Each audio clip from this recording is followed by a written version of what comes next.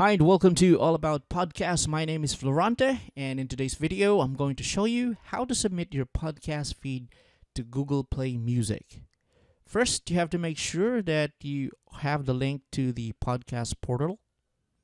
There you go. Just go there, click on Get Started.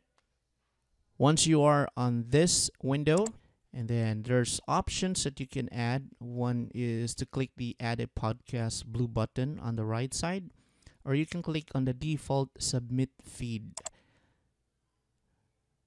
Now just read through the terms of service and check that. Then hit I accept. Okay, now you need your podcast feed URL. So paste it in there and submit RSS feed. All right and you will also be sent a confirmation email. Make sure that you have access to that email. Copy the verification code that was sent to your email and paste it in the verification code field. Let me just paste that. There you go. And verify ownership. All right. Now the podcast is verified, but you actually need to make sure that you hit publish. So let's publish that one. And there you go. It's now showing that my submission is pending for approval.